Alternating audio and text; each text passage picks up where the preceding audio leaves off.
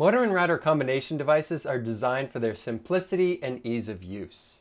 Today, we're going to put that to the test. I have a Netgear AX2700 modem router combo device. I'm going to see how quickly I can get it up and running and get a working internet connection.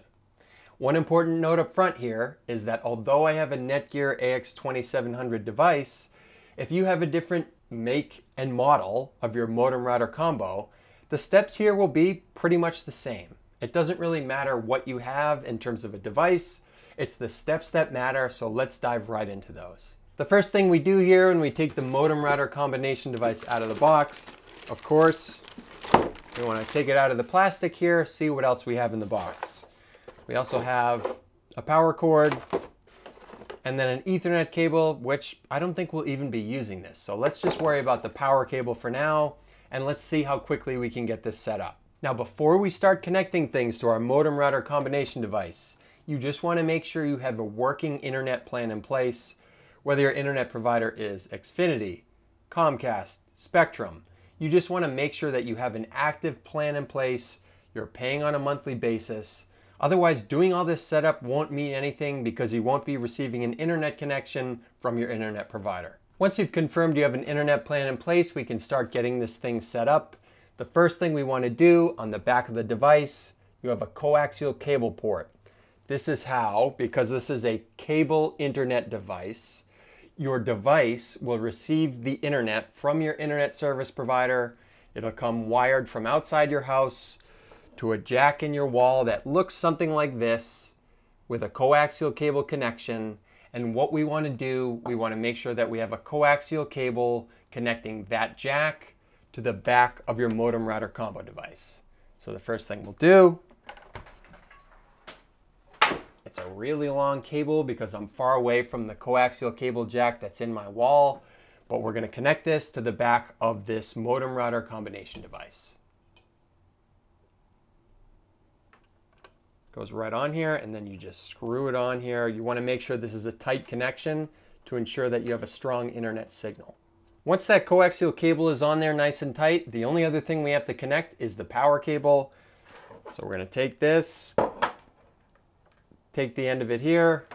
On the back and the bottom, you'll see you have a little port for that. We're gonna connect it to the modem router combination device. We're gonna take this end, we're gonna plug it into the wall, and then we're gonna see what it looks like. Once you connect that power cable, you'll see on the device itself, these lights will start to flicker and flash as it boots up. It's a little bit reflective there, so it's hard to see, but the bottom line is you want to give it some time for these lights to reach steady state so they're no longer flashing and they look like they're not changing. All right, it took about five minutes, but at this point, all the lights on my device are stable. If you can see those, there's one in particular, there's a little globe here. This refers to the internet connection of the device. Once that is stable for about a minute, we're ready to move to the next step. That next step involves us registering this device with our internet service provider. We won't get a working internet connection until we do that because the internet service provider needs to link our internet plan with this device. In order to do that, we need to find the MAC address or medium access control address for this modem. The MAC address is basically just an identifier for the device.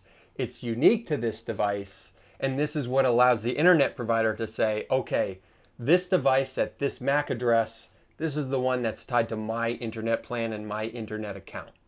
In order to find the MAC address, on the bottom of the device, you'll see some stickers, and there will be a 12 digit MAC address code on the bottom on one of these stickers. It will be clearly labeled MAC. So let's go and grab that information now. So here's the location of the MAC address for my modem router combo. It's a 12 digit alphanumeric number, so it's pretty easy to identify, but you wanna make sure that you write that down before moving to the next step. In order to register this device and its MAC address with your internet plan, you'll need to get in contact with your internet provider. At this point, most of them have mobile applications you can use to register your devices. I have Xfinity, so those are the steps I'll be showing you here. But depending upon your internet provider, you'll probably have a different app that you use to register your device. Okay, here we are on my iPhone. The first thing I need to do, go into the Xfinity app, log in with your username and password for your account. And then as you can see here, it says I currently don't have an internet connection. Yeah, no kidding. That's because I haven't registered my modem router device yet. In order to do that, what I have to do, you can click down here, begin activation, and it will walk you through the steps you need to follow. Here we just follow the steps. It says your own modem. I purchased this modem router combo, so I'll select my own modem. We're gonna get started. And here it is, scan your modem's label. You can do that, or you can manually type in the MAC address. I prefer to identify manually instead, and that's by typing in the MAC address. So I'll go ahead and I'll do that now. You enter that and you click next, and here are the next steps.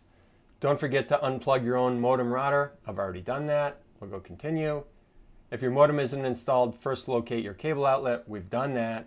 If possible, place equipment where it provides better Wi-Fi. That's a topic for another video. We'll just hit continue now.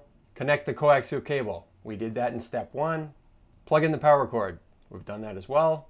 Check to make sure your modem's online. We've done that as well. Check connection. All right, that's all set. Now it says your modem's restarting before you can use your Wi-Fi. We're good to go. We're all done with our phone here.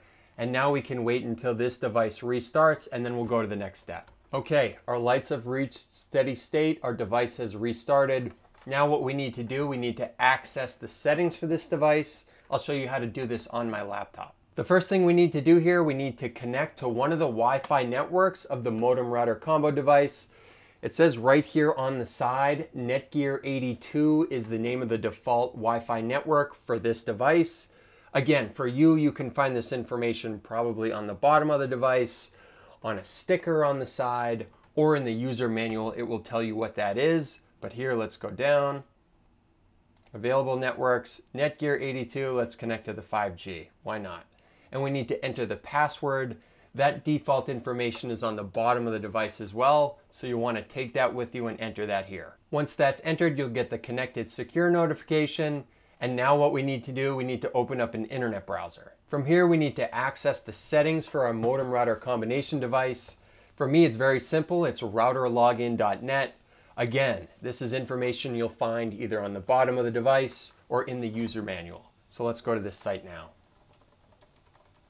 You may get a notification saying this is an insecure connection. This is nothing to worry about because you're literally taking your laptop or whatever device you're using and you're connecting locally to this device. You're not going over the internet, so there's not really any concern from a security standpoint. We'll click continue to site. From here, I get a notification that I can configure my device with an app. I have too many apps. I'm just gonna show you the steps on my laptop and we'll go from there. So we'll click, if you don't have a compatible smartphone, click here. Terms and conditions, we'll accept those. This page is really important from a security standpoint. You want to make sure that you have a unique password to access the settings of your device. So go ahead, pick something that's complex here, something that's not easy to guess, because it will just make your device even that more secure. So let's go in, let's pick a password. Then you have a couple security questions. Let's get those filled out and select next. You might see a page for another insecure connection. Go ahead and click through that, and here you go. You're successfully connected to the internet. Here's the name of our wireless networks. And also here's the password. You can take a look at it. This is the default one. I'll be changing this so it's okay if you see it. And then we'll select next again. At this point, if you want to access your device's settings and change the Wi-Fi network names and passwords, all you have to do is you have to put in the username and then the password that you just selected. Okay, here's the homepage for your device's settings. At this point, you can make configurations if you'd like. I've previously made videos about how to change the Wi-Fi network name and password for your device, how to set up a guest network, and how to secure your modem router combo device. So I invite you go and check those videos out if you want to take these next steps. But at this point, your device is up and running. You have internet access, you have Wi-Fi, you have everything we set out to do in this video. Overall, it took me about 35 minutes to set up this modem router combo device. I didn't do any of the configuration or fine tuning for security settings or Wi-Fi networks, but this is a good indication for how long it will take you because you spend a lot of time waiting for it to reboot, waiting for it to connect to the internet, and then registering it to your internet provider. I'd love to see in the comments how long it took you. It's not a race, but I'm just curious. And as always, thanks for checking out this episode from Network from Home, and we'll catch you on the next one.